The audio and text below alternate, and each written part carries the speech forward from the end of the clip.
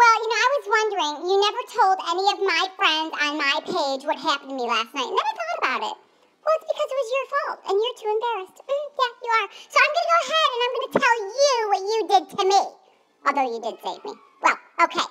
At approximately 7 o'clock last night, you were eating, and I, me, Pretty Brinny, asked for a piece of the delicious food. Well, you gave me a piece, but it was a huge chunk of steak. And I had to hurry up and inhale it because these boys wanted it from me, because they want everything from me. Next thing you know, I'm on the ground. I can't breathe. It was horrible. Absolutely awful. I mean, this was a very, very serious situation here, okay? Now, luckily for me, you knew how to do the Heimlich maneuver. Thank you very much for that, by the way. But in all fairness, this really was all your fault. Seriously, your fault.